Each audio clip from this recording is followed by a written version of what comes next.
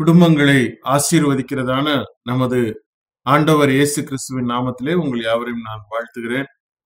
முப்பத்தி ஐந்தாவது செய்தியிலே வந்திருக்கிற உங்கள் ஒவ்வொருவரையும் தேவன் தாமே ஆசிர்வதித்து வழிநடத்துவாராக குடும்பத்தில் கிறிஸ்தவம் என்ற தலைப்பை கருப்பொருளை நாம் இந்த வருஷத்துல துவங்கினோம்.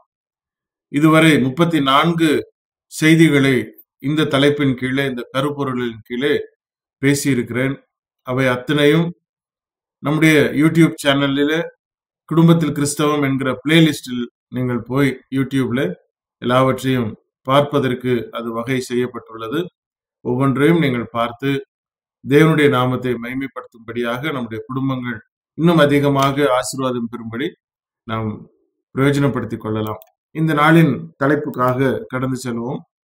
மனவாழ்வு முறிவதற்கான சில காரணங்கள் என்று சொல்லி சில குறிப்புகளை உங்கள் முன்னதாக நான் கொண்டு வருகிறேன். திருமண பந்தம் குறிப்பாக இந்நாட்களிலே மிகவும் குறைந்து கொண்டிருக்கிறது என்பதை நாம் யாவரும் அறிவோம். திருமணத்தின் பொழுது திருமணத்திற்கு முந்தைய சில நாட்களிலே அல்லது திருமணத்திற்கு பின்பு இருக்கும் சில நாட்களிலே காண்கிறதான அந்த அன்பு குறைந்து புரிதல் குறைந்து ஒருவருக்கொருவர் இருக்கக்கூடியதான சகிப்புத்தன்மை குறைந்து விட்டு கொடுக்கும் தன்மை குறைந்து மிக இலகுவாக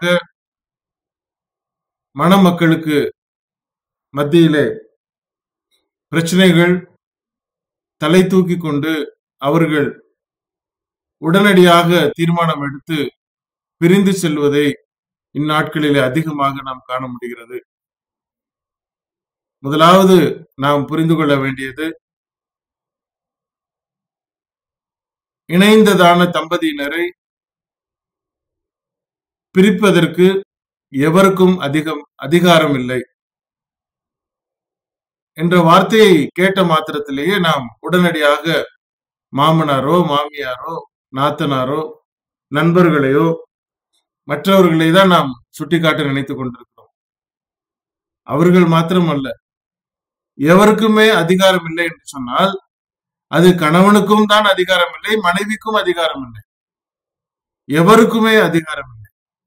மனம் முடித்ததான கணவன் மனைவிக்கு இடையே பிரிந்து செல்வதற்கான காரணத்தை அதிகாரத்தை எவருக்குமே தேவன் கொடுக்கவில்லை. அது கணவனானாலும் சரி மனைவியானாலும் சரி. அவர்கள் மரணம் அவர்களை பிரிக்கும் வரைக்கும். வேற யாருக்கும் அந்த அதிகாரம் இல்லை. மரணம் எப்பொழுது ஏற்படுது? தேவனுடைய திட்டத்தின்படி தான் அது நடக்கிறது. அவருடைய சித்தத்தின்படி நடக்கிறது. அப்போ எந்த ஒரு மனுஷனுக்கும் அதிகாரம் இல்லை என்று பார்க்கிறோம். இப்போ குடும்பத்திற்குள்ளே நடக்கக்கூடிய பிரச்சனைகள் எல்லாருக்கும் பிரச்சனைகள் இருக்கு. சண்டைகள் இருக்கு. அவர்களுக்கு நடுவே இருக்கக்கூடிய கருத்து வேறுபாடுகள் இருக்கிறது. அவைகளை உணர்ந்து அதை சீர்படுத்தி கொண்டு அனுதினமும் அதை நமக்கு நாமே ஆராய்ந்து பார்த்து முன்னே முன்னோடி கடந்து செல்ல வேண்டும். அன்புடன் கடந்து செல்ல வேண்டும். சந்தோஷத்துடன் கடந்து செல்ல வேண்டும். தேவன் குடும்பத்தை ஆசீர்வதிக்கிறவர் அல்லவா? இப்ப சில காரணங்களை நான் முன்னதாக கொண்டு வருகிறேன். முதலாவது காரணம் நம் மத்தியிலே இருக்கக்கூடிய சரியான தகவல் தொடர்பு இன்மை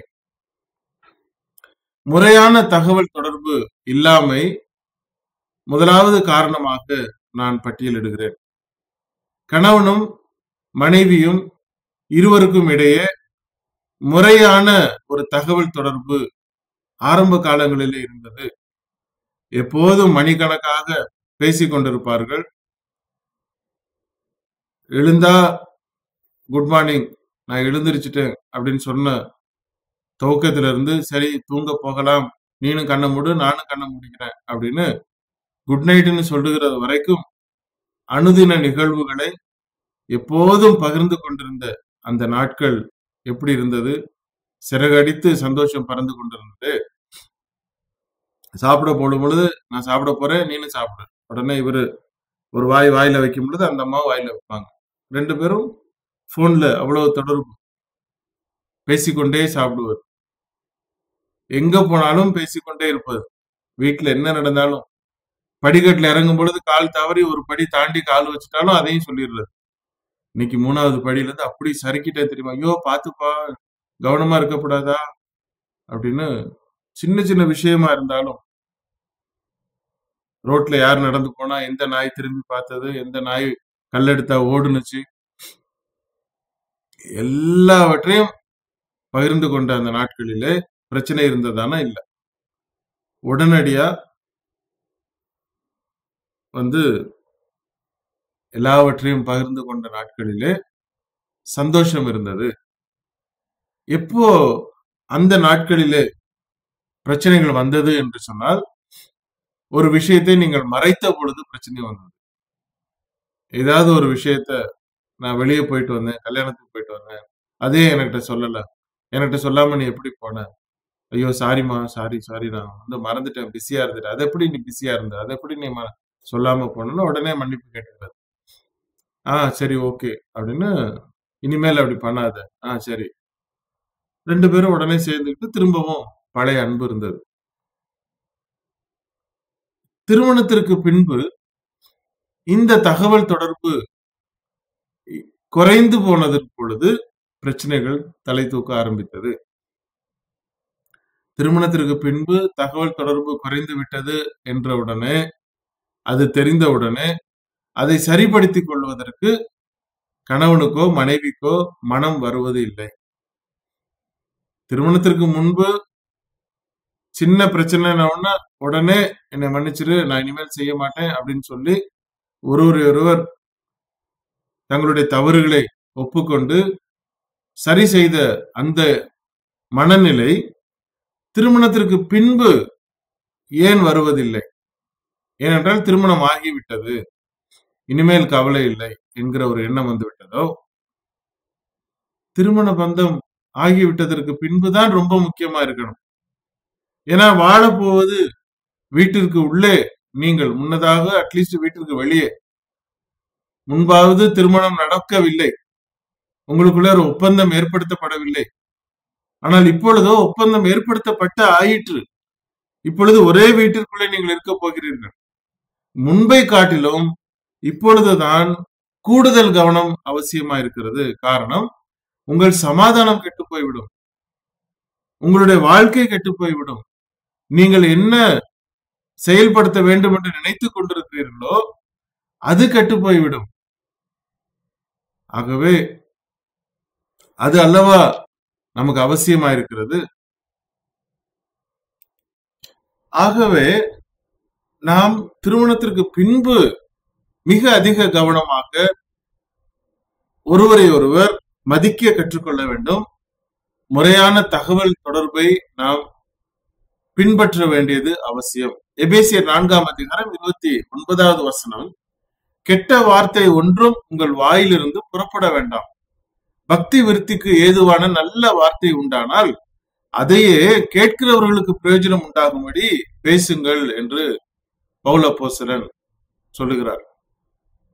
பரிசுத்த ஆவியானவர் மூலமாக வேதாமத்தை நமக்கு எழுத வை எழுதி வைக்கப்பட்டிருக்கிறது.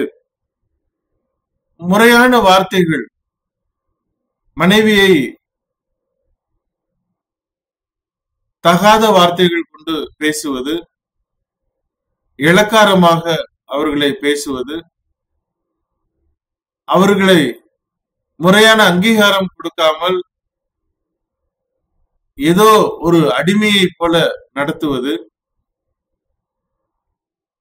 சம்பளம் கொடுக்காத ஒரு தொழிலாளியை போல அவர்களை நடத்துவது போன்ற காரியங்களிலிருந்து முதலாவது கணவர்மார்கள் நிறுத்திக் கொள்வது அவசியம். அவர்கள் கணவனின் சரீரத்திலே அங்கமானவர்கள். கணவனுடைய சரீரத்திலே அவர்களும் பங்கு பெற்றவர்கள்.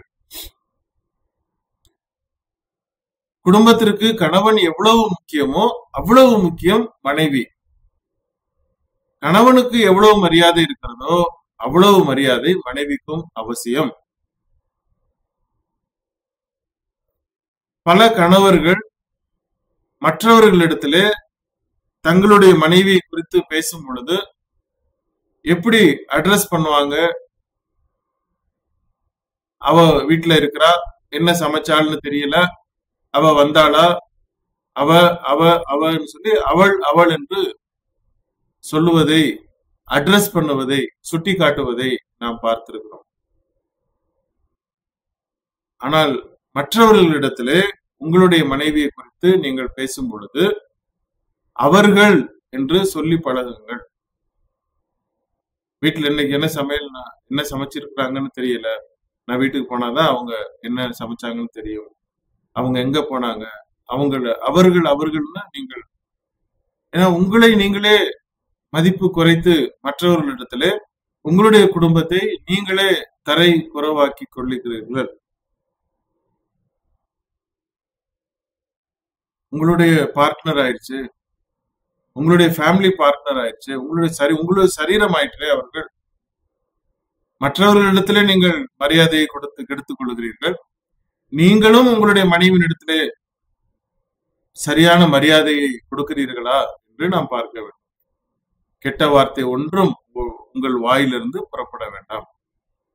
அவர்களுக்கு வேண்டிய மரியாதையை சொல்ல வேண்டிய அனைத்து காரியங்களையும் அவர்களுக்கு தகவல் பரிமாற்றத்தை நாம் கொடுக்கும் பொழுது குடும்பத்திலே அவர்களுக்கு உரிமை உண்டு. உங்களை குறித்த சகல காரியங்களும் தெரியப்படுத்துவதற்கு அவர்களுக்கு உரிமை உண்டு.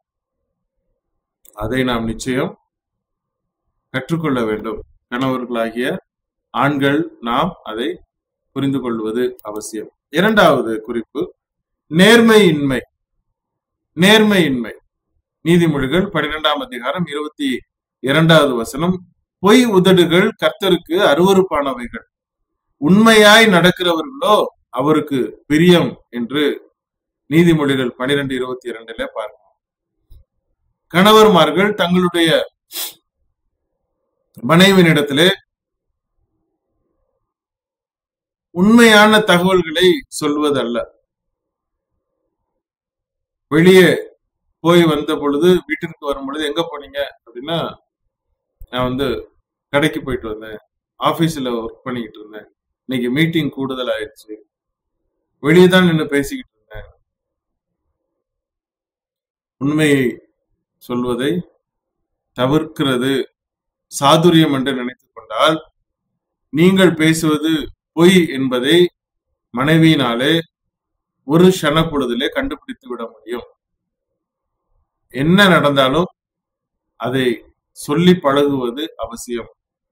உண்மையை சொன்னால் பிரச்சனை வரும் என்று நீங்கள் தெரிந்தாலும் அந்த உண்மை பிற்காலங்களிலே அவர்களுக்கு தெரிய வரும் பொழுது உங்கள் மீது இருக்கிற நம்பிக்கை குறைந்து போகும். உண்மையை சொல்லும் பட்சத்திலே நீங்கள் சூழலை சொல்லி நீங்கள் அந்த உண்மையை சொல்லிவிடுவது நல்லது. நான் சொல்லுகிற ஒவ்வொரு குறிப்பும் கணவனுக்கு மாத்திரமல்ல மனைவிக்கும் தான். முதலாவது குறிப்பு முறையான தகவல் தொடர்பு இல்லாமை. மனைவியின் பக்கத்திலே நீங்கள் கவனித்தீர்கள் என்று சொன்னால் ஆரம்ப காலங்களிலே ஐயோ இந்த நம்ம தமிழர்கள் பழைய மொழியில் சொல்வது போல கணவனே கண் கண்ட தெய்வம் அப்படின்னு சொல்ற மாதிரி கணவன் என்ன சொன்னாலும் அப்படியே விழுந்து கேட்டு கண்ணில் ஒத்திக்கிறது. ஆனா நாட்கள் போக போக திருமணம் முடிந்து ஒரு வருடம் இரண்டு வருடம் நடக்கும் பொழுது கணவனை ஒரு பொருட்டாகவே மதிப்பதல்ல. மற்றவர்கள் முன்பு அவர்களை ஏளனப்படுத்துவதா? அவருக்கு என்ன தெரியும்? அப்படின்னு அவரை உதாசீனப்படுத்துவது. கணவன் என்ன சொன்னாலும் அதுக்கு மறுபேச்சு பேசாம கீழ்ப்படிந்த காலங்கள் போய் திருமணம் ஆகி இரண்டு மூன்று வருடங்கள் கடந்து விட்டால் கணவன் சொல்வதற்கு நேர் எதிராக செய்வது. நேர் எதிராக. என்ன சொன்னாரோ அதுக்கு நேர் எதிராக செய்து விடுவது. அவர்களுக்கு தகவல் தொடர்பு.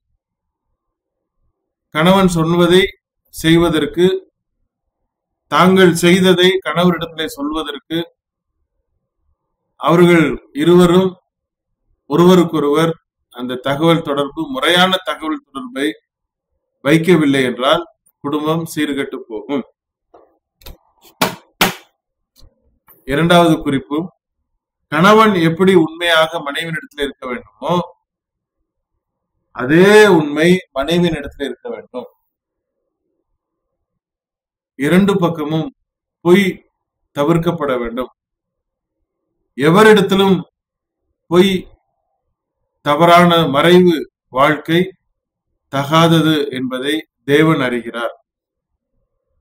பொய் உதடுகள் கர்த்தருக்கு அருவருப்பானவைகள். உண்மையாய் நடக்கிறவர்களோ அவருக்கு பிரியம். அப்ப அவருக்கு பிரியம்னா என்ன நடக்கும்?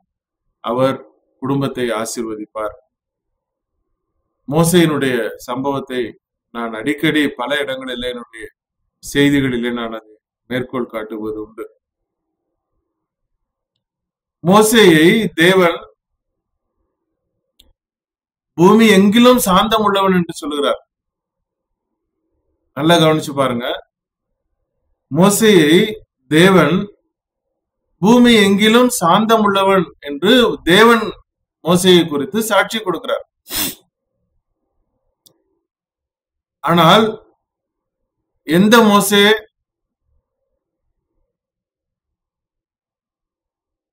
எகிப்திலே ஒரு சோல்ஜரை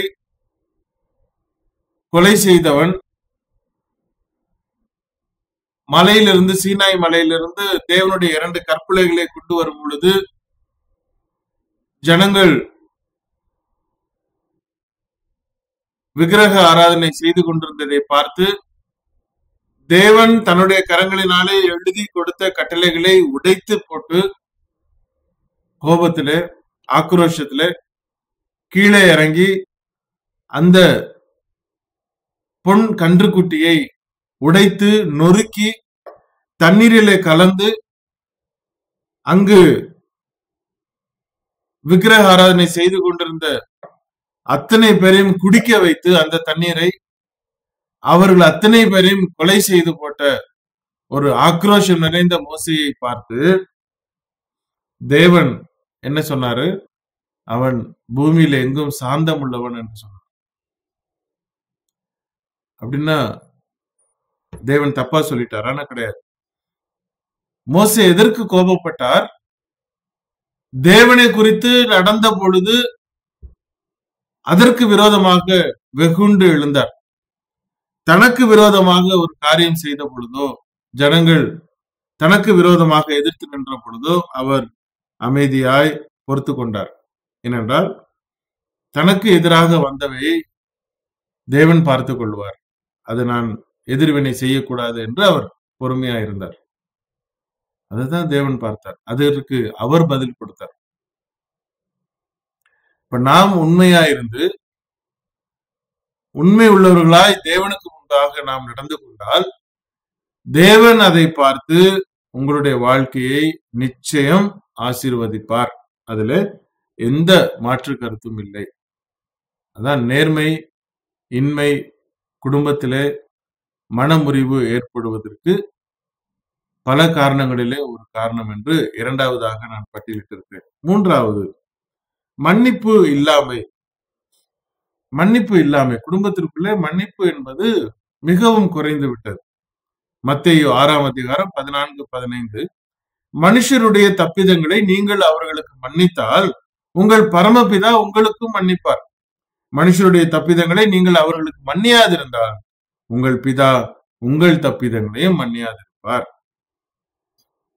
கணவன் மனைவிக்கு இடையே தவறுகள் நடக்கும் பொழுது அதை அவர்கள் உணர்ந்த பொழுது அதை அவர்கள் உங்களிடத்தில் வந்து பேசின பொழுது நீங்கள் அதை மன்னிக்க வேண்டியது அவசியம். தேவன் நம்முடைய பாவங்களை எப்படி மன்னித்தார்? அவர் இனி நினையாமல் இருந்தார். அவர் தம் நம்முடைய தம்முடைய முதுகிற்கு பின்னதாக அவர் போட்டு விட்டார் கடலின் ஆழங்களிலே கொண்டு போய் போட்டுவிட்டார். மேற்குக்கும் கிழக்குக்கும் எவ்வளவு தூரம் அவ்வளவு தூரமாய் நம்முடைய பாவங்களை அவர் மன்னித்தார் என்று சொல்லி வேதாமம் சொல்லுகிறது. கணவனுக்கும் மனைவிக்கும் இடையே இருக்கக்கூடிய தவறுகள் நடந்த பொழுது அதை மன்னிக்கிற ஒரு மனப்பான்மை நிச்சயம் அவசியம். ஐயோ நான் தப்பு பண்ணிட்டேன். இந்த செய்தி விடு. பரவாயில்ல. மன்னிச்சிடணும். அதை திரும்பவும் சுட்டி காட்டக்கூடாது ஒரு நாளும் சுட்டி காட்டக்கூடாது அன்னைக்கு நீ அப்படி பண்ண தெரியுமா? ஆமா நீங்க போன வாரம் அப்படி பண்ணலையா? ஆமா நீ போன வருஷம் அப்படி பண்ணலையா? அப்படின்னு ஒரு நாளும் சுட்டி காட்டக்கூடாது தவறு வந்துவிட்டால் அதை தவறு என்று ஒத்துக்கொண்ட பொழுது இருவரும் கரங்களை பிடித்துக் கொண்டு சரி இனி நே- இனி நாம் அதை செய்ய வேண்டாம். நாம் இனி அதை மறந்து மேற்கொண்டு நன்மையான நாம் பின்பற்ற வேண்டும். அதோடு மறந்து விட வேண்டும் அதை மன்னித்து விட வேண்டும். அதை மீண்டும் நாம் சுட்டி காட்டுவதற்கு ஒரு நாளும் முயற்சி செய்யக்கூடாது. இப்ப தேவன் நம்முடைய பழைய பாவங்களை மீண்டும் மீண்டும் சுட்டி காண்பித்தால் என்ன நடக்கும்? பேதுருவை நீ அன்னைக்கே என்னை மூணு தடவை மருதில வச்சவனாக்கும். நீ ஓரமா போய் நெல்லு அப்படின்னு சொல்லி ஒதுக்கி வைத்திருந்தால் என்ன நடந்திருக்கும்? ஆனால் அவர் உயிர்த்தெழுந்து வந்த பொழுது பேதுருவிடத்துலதான் என்னுடைய ஆடுகளை மெய்ப்பாயாக என்று சொன்னார். சுட்டி காட்டவே இல்லை. ஆமா உன்னை என்னைக்கு உனக்கு உன்னை எனக்கு தெரியாதாக்கும். நீ இப்படித்தான் என் பக்கத்திலே உட்கார்ந்துருப்ப நாங்க எங்க போவோம்? உம்மிடத்துல தேவ வசனங்கள் உண்டு ஜீவ வசனங்கள் உண்டு அப்படின்லாம் வாயில இனிக்க இனிக்க நீ பேசுவ. ஆனா நேரம் வந்ததுன்னு சொன்னா வேலைக்காரியா இருந்தா கூட எனக்கு இவனை தெரியவே தெரியாதுன்னு சொல்லி நீ சபை சாபம் விட்டுருவ. உன்னை பத்தி எனக்கு தெரியாதா? அப்படின்னு சொல்லி காட்டினார். ஆனா இல்ல. அதுதான் நாம கற்றுக்கொள்ள வேண்டியது. மன்னிப்பு ஒருவருக்கொருவர் தம்பதியினரிடையே அவசியமா இருக்கிறது ஒரு பொழுதும் பழைய காரியங்களை நாம் மீண்டும் நினைவுபடுத்தி பேசலாகாது. நான்காவது குறிப்பு. அவமரியாதை. ஒருவரை ஒருவர் அவமரியாதையுடன் பேசுவது. எபேசியர் ஐந்தாம் அதிகாரம் முப்பத்தி மூன்றாவது வசனம். எப்படியும் உங்களிலும் அவனவன் தன்னிடத்தில் அன்பு கூறுவது போல தன் மனைவியினிடத்திலும் அன்பு கூற கடவன். மனைவியும் புருஷனிடத்திலே பயபக்தியாயிருக்க கடவுள். அவமரியாதை. மனைவியை அவமரியாதையோடு நடத்துவது கணவனை அவமரியாதையுடன் நடத்துவது. இரண்டு பேரும் இரண்டு பக்கமும் ஒருவரை ஒருவர் தூஷணம் பேசுவது தூஷணமாய் நடந்து கொள்வது. மிக மோசமாக ஒருவர் வார்த்தைகளினாலே வசைப்பாடுவது. எப்படி குடும்பம் உருப்படும்? கோபத்திலே கோபத்திலே நாம் வாய்களை அடக்கி கொள்ளாமல் எல்லா குமுறலையும் வெளியே கொட்டி விடுவது பலவிதமான வார்த்தைகள். ஐயோ கேட்க முடியாது வாயில. வாயில வர்றது ஒண்ணே நம்ம காதால கேட்கவே முடியாது. அப்படியே காதை அப்படி பொத்திக்கணும். அந்த அளவிற்கு அருவி மாதிரி கொட்டுகிற வார்த்தைகள். ஐயோ பேச ஆரம்பிச்சுட்டாரு அப்படின்னு இந்த அம்மா ஓடிடுவாங்க. ஐயோ அவ பேச ஆரம்பிச்சிட்டாரு அப்படின்னு இந்த இவரு கணவன் அந்த பக்கமா ஓடி போய் குளிக்க போயிடுவார் இல்ல வீட்டை விட்டு வெளியே போயிடுவார். அவமரியாதை தூஷண வார்த்தைகள். உங்க அம்மா இப்படி உங்க அப்பா இப்படி உங்க அக்கா இப்படி உங்க தங்கச்சி இப்படி உன் தம்பி இப்படி. நீங்க என்ன பெரியதா? நீங்க அப்படி அன்னைக்கு அப்படித்தானே பேசுறீங்க நீ என்ன இப்படி பெரிய இவளா? நீ அப்படித்தானே பேசுன? எத்தனை எத்தனை எத்தனை அவமரியாதையான வார்த்தைகள். யாரை பத்தி யாரை தூஷணப்படுத்துறது?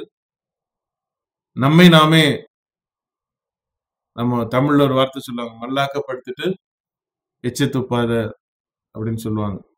அது எங்க விழுகும்? மீண்டும் உன்னுடைய சரீரத்திலே வந்து விழுகிறது. உங்கள் மனைவியை பார்த்து நீங்கள் அவமரியாதையாய் பேசினால் அது யாரை குறித்து பேசுவது? அது உங்களை குறித்து பேசுவதாகும். நீங்கள் உங்கள் கணவனை குறித்து அவமரியாதையாய் பேசினால் அது யாரை குறித்து பேசுவது? அது உங்களை குறித்து பேசுவதாகும். ஏனென்றால் கணவன் தன்னுடைய சரீரத்தை குறித்து தூஷணப்படுத்திக் கொண்டிருக்கிறான். மனைவி தன்னுடைய தலையை குறித்து தூஷணப்படுத்தி கொண்டிருக்கிறார். அப்படி என்றால் தங்கள் சொந்த சரீரங்களையே அவர்கள் தூஷணப்படுத்தி கொண்டிருக்கிறார்கள். இப்ப நம்முடைய சரீரம் என்பதை நாம் உணர்ந்து கொண்டால் நம்முடைய கையை நாமளே வெட்டி கொண்டே இருப்போமா? ஒரு போர்க் எடுத்து கையை நாமளே குத்தி கொண்டே இருப்போமா? அவமரியாதை ஒருவரை ஒருவர்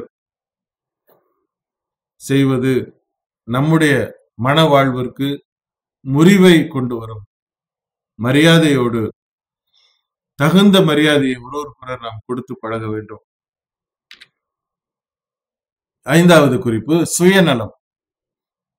ரொம்ப பிலிப்பிய இரண்டாம் அதிகாரம் மூன்று நான்கு வசனங்கள். ஒன்றையும் வாதினாலாவது வீண் பெருமையினாலாவது செய்யாமல் மனத்தாழ்மையினாலே ஒருவரை ஒருவர் தங்களிலும் மேன்மையானவர்களாக எண்ண கிடவீர்கள் அவனவன் தனக்கானவைகளை அல்ல பிறருக்கானவைகளையும் நோக்குவானாக. சுயநலம் குடும்பத்திற்குள்ளே வந்துவிட்டால் அந்த குடும்பம் அல்லோல்படும். ஒரு நாளும் நம்முடைய நலத்தை மாத்திரம் பேணக்கூடாது. மனைவியானவள் கணவனுக்காக பிள்ளைகளுக்காக உறவினர்களுக்காக அந்த வீடு அவளுடையது. அந்த வீட்டை கட்டி காப்பது அவளுடைய பொறுப்பு.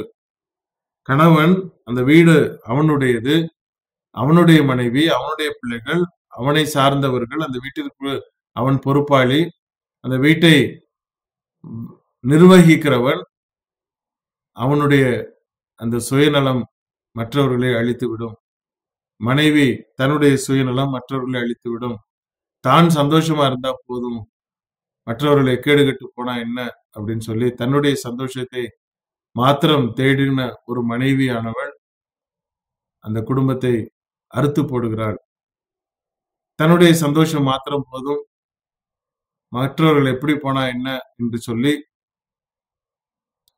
ஒரு கணவன் தன்னுடைய சந்தோஷத்தை தேடி வெளியே ஓடினால் அந்த குடும்பத்தை அவன் குழி தோண்டி புடை புதைத்து விடுகிறார். தன்னுடைய மனைவியை சந்தோஷப்படுத்துவது யார்? கணவன் அல்லவா? தன்னுடைய பிள்ளைகளை சந்தோஷப்படுத்துவது யார்? பெற்றோர் அல்லவா? தன்னுடைய உற்றத்தார் உறவினர்கள் இனஜன பந்துக்கள் தன்னை சார்ந்திருக்கிறவர்களை சந்தோஷப்படுத்துவது யார்? அந்த வீட்டு தலைவன் அல்லவா? அதுபோல கணவனுடைய சந்தோஷத்திற்கு காரணம் யாரா இருக்க வேண்டும்? மனைவியா இருக்க வேண்டும். கணவனுக்கு எது சந்தோஷம்? எது அவனுக்கு நிறைவை கொடுக்கும்? எது அவன் எதிர்பார்க்கிறான்? அவனுக்கு எது பூரணமாக அவசியப்படுகிறது? அதை நிறைவேற்ற வேண்டியது ஒரு மனைவியினுடைய கடமை. தன்னுடைய பிள்ளைகளுக்கு எது ஆவலா இருக்கிறது? எது அவர்கள் பிரியப்படுகிறார்கள்? அவர்களுக்கு பிரியமானது எது என்பதை அறிந்து அதை நிறைவேற்றுவது ஒரு மனை ஒரு தாயினுடைய கடமை. அந்த வீட்டில் இருக்கிறவர்களுக்கு வேண்டிய காரியங்களை செயல்படுத்தி அவர்களுக்கு உரிய நன்மையானவர்களை செயல்படுத்துவது அந்த வீட்டின் தலைவியினுடைய பொறுப்பு அல்லவா? சுயநலம் என்று வந்துவிட்டால் அந்த குடும்பம் சீரழிந்து மன வாழ்வு முறிந்து போவது அது ஒரு காரணமாக இருக்கிறது. நம்பிக்கை இல்லாமை. ஒன்று குறைந்தர் பதிமூன்றாம் அதிகாரம் ஏழாவது வசனம். நம்முடைய கணவன் நம்முடைய மனைவி. என்னுடைய மனைவி என்னுடைய கணவன். என்னுடைய சரீரம்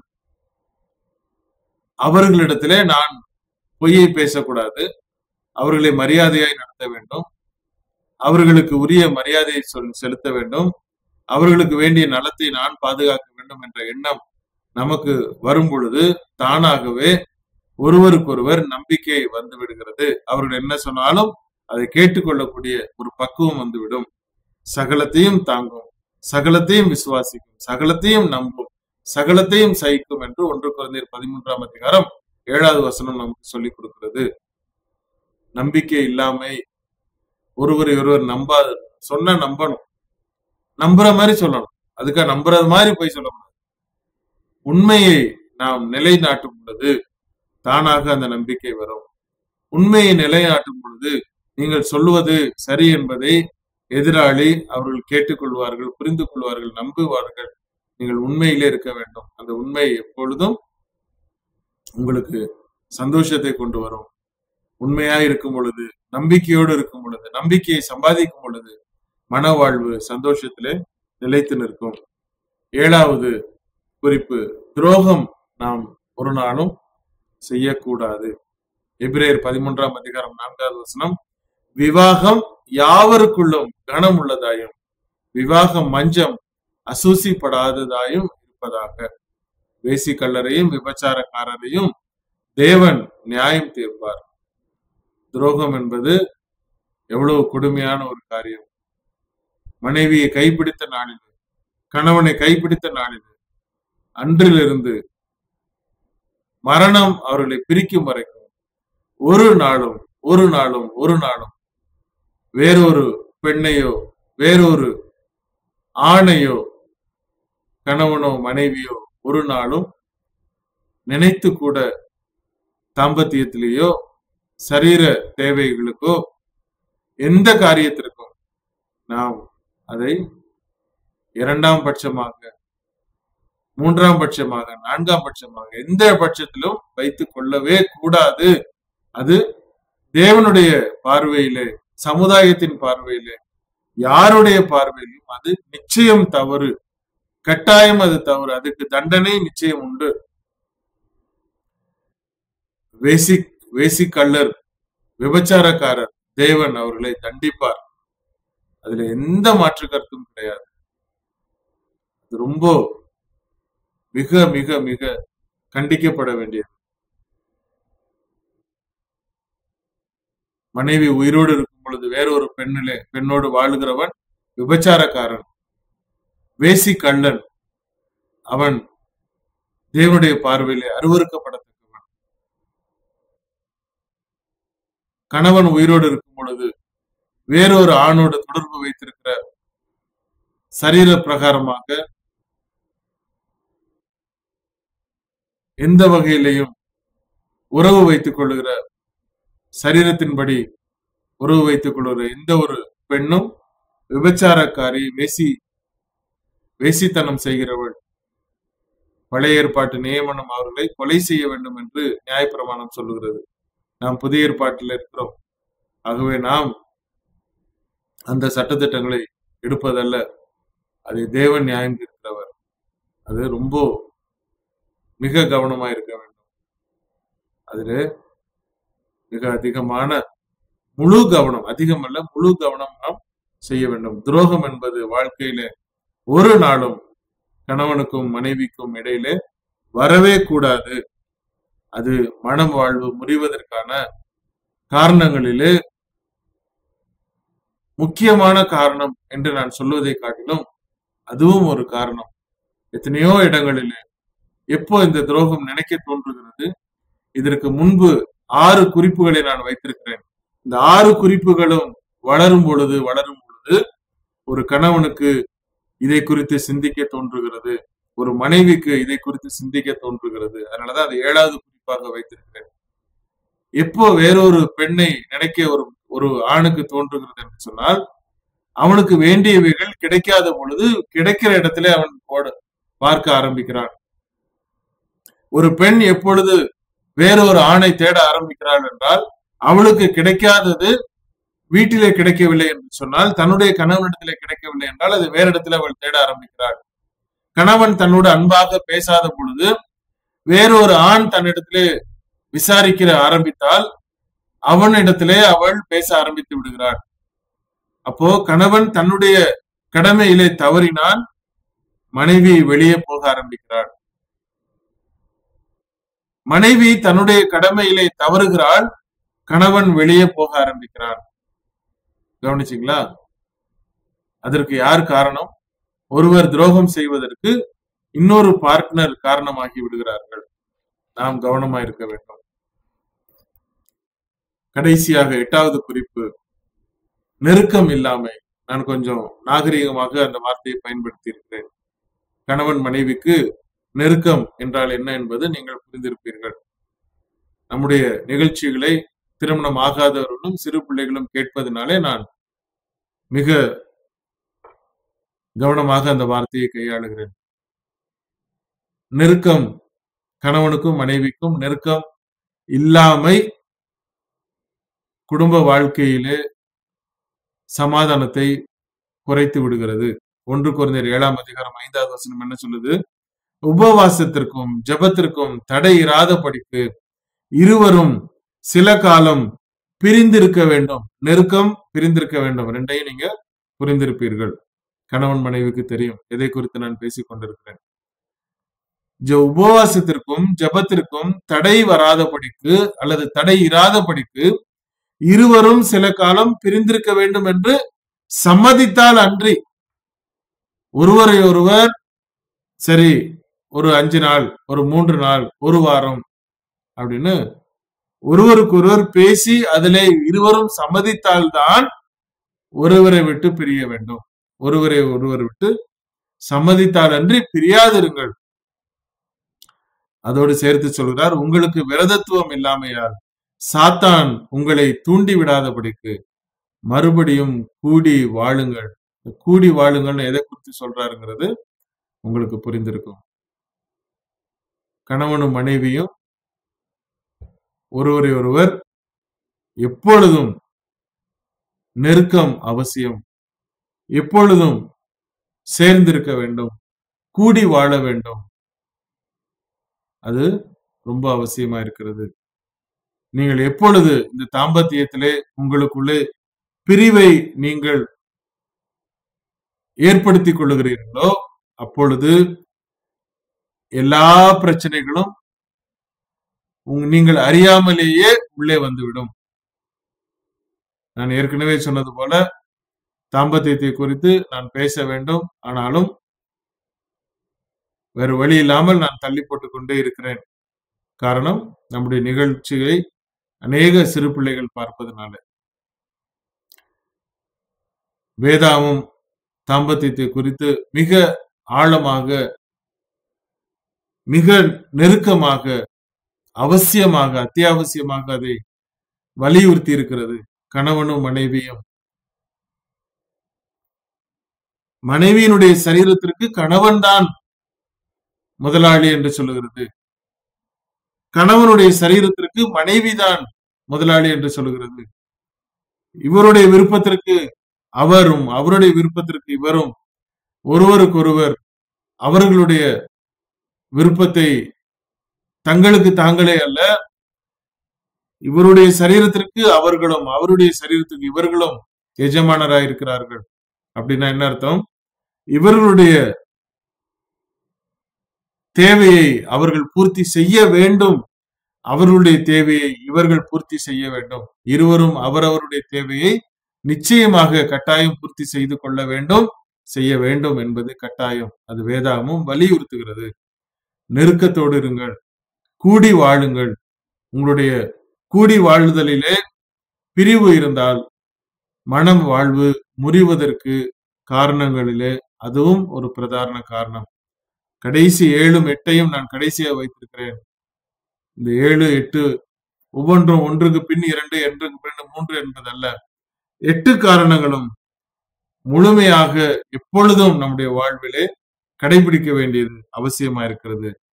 ஒன்பதாவது குறிப்பு ஜபத்தின் குறைபாடு. மத்தையு பத்தொன்பது இருபத்தி ஆறு இயேசு அவர்களை பார்த்து மனுஷரால் இது கூடாததுதான்.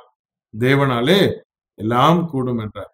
நீங்கள் உங்களுடைய வாழ்க்கையிலே ஒருவேளை இப்பொழுது நீங்கள் இந்த எட்டு காரியத்திலையும் அதை நீங்கள் ஒருவேளை கடைபிடித்திருந்தால் உங்களுடைய வாழ்வு முறிந்து போய் கொண்டிருக்கிறது என்பது தெள்ள தெளிவு. அதை சீர்படுத்த வேண்டும் என்றார் நீங்கள் அந்த எட்டு காரியத்தையும் அதை சரி செய்யுங்கள் அதை சீர்படுத்துங்கள். ஒருவர் கரங்களை பிடித்துக்கொண்டு நீங்கள் உங்களை தாழ்த்தி கொள்ளுங்கள் உட்கார்ந்து பேசுங்கள். மனம் விட்டு பேசுங்கள். ஒருவர் ஒருவர் கோபப்படுத்தி பேசிக்கொண்டாலும் ஒருவேளை வாய்ப்பு கிடைக்கவில்லை என்றாலும் நீங்கள் வாய்ப்பை ஏற்படுத்தி கொண்டு ஒருவர் விட்டு கொடுத்து பேசுங்கள். எல்லாவற்றையும் தேவன் சரி செய்வார். அதனாலதான் சொன்னாரு மனுஷனால் இது கூடாதது ஆனால் தேவனால் அது கூடும். உங்களுடைய மன முறிந்த வாழ்க்கையா இருந்தால் நீங்கள் ஜெபம் செய்து உங்களுடைய கணவனிடத்திலே போய் பேசுங்கள். ஜெபம் செய்து உங்கள் மனைவியிடத்திலே போய் பேசுங்கள்.